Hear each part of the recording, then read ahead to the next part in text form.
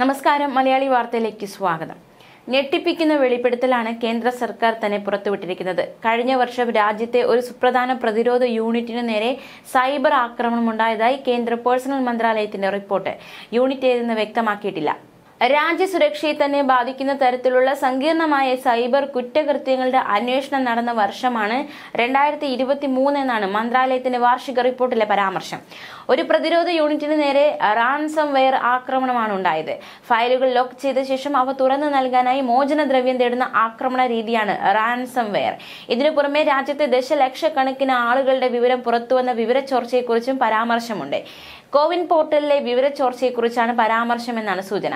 ഒരു മന്ത്രാലയത്തിന് നേരെ മാൽവെയർ ആക്രമണവും വിമാനത്താവളങ്ങൾ അടക്കമുള്ള സുപ്രധാന സ്ഥാപനങ്ങൾക്ക് നേരെ ഡി ഡി ഒ എസ് അതായത് ഡിസ്ട്രിബ്യൂട്ടഡ് ഡീനിയൽ ഓഫ് സർവീസ് ആക്രമണവും രണ്ടായിരത്തി ഇരുപത്തി മൂന്നിൽ നടന്നതായി റിപ്പോർട്ടിൽ പറയുന്നു. ഒരേ സമയം ലക്ഷക്കണക്കിന് ഡിവൈസുകളിൽ നിന്നൊരു പ്രത്യേക ഐ പി വിലാസത്തിലേക്ക് മലവെള്ളപ്പാച്ചിൽ പോലെ റിക്വസ്റ്റുകൾ അയച്ച് പ്രവർത്തനം തടസ്സപ്പെടുത്തുന്നതിനെയാണ് ഡി ഡി ഒ എസ് എന്ന് വിളിക്കുന്നത്. അതേസമയം ഖലിസ്ഥാൻ തീവ്രവാദി അർഷ്ദീപ് ദല്ലയെ കീഴ്പ്പെടുത്തിയ വിവരം ഇന്ത്യയ്ക്ക് കൈമാറാതെ കാനഡ. കൊടും ഭീകരൻ ഹർദീപ് സിംഗ് നിജ്ജറിന്റെ വിശ്വസ്തനായ ഇയാളെ കഴിഞ്ഞ ഇരുപത്തിയെട്ടിന് കീഴ്പ്പെടുത്തിയെന്നാണ് വിവരം. കൊലപാതകം തീവ്രവാദമടക്കം നിരവധി കുറ്റകൃത്യങ്ങളിൽ പ്രതിയായ ദല്ലയ്ക്കായി പഞ്ചാബ് പോലീസ് ലുക്കൌട്ട് നോട്ടീസ് പുറപ്പെടുവിച്ചിരുന്നു.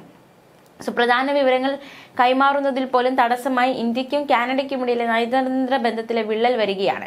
ഖലിസ്ഥാൻ തീവ്രവാദി അർഷ്ദീപ് ദലയെ കീഴ്പ്പെടുത്തി ഒന്നരയാഴ്ച പിന്നിട്ടിട്ടും കാനഡ ഔദ്യോഗികമായി വിവരം ഇന്ത്യ അറിയിച്ചിട്ടില്ല. മിൽട്ടണിൽ നടന്ന വെടിവയ്പ്പിനിടെ കീഴ്പ്പെടുത്തിയെന്നാണ് വിവരം.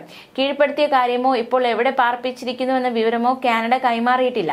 കാനഡയിലെ സുരയിൽ കഴിയുകയായിരുന്ന ദല്ലയ്ക്കെതിരെ യു എ പി എ അടക്കം നിരവധി കേസുകളുണ്ട്. രണ്ടായിരത്തി ഇരുപതിൽ ദേരാ സച്ച സൗദയുടെ രണ്ട് അനുയായികളെ പഞ്ചാബിൽ കൊലപ്പെടുത്തിയ കേസിലും പ്രതിയാണ് അർഷ്ദീപ് ദല്ല.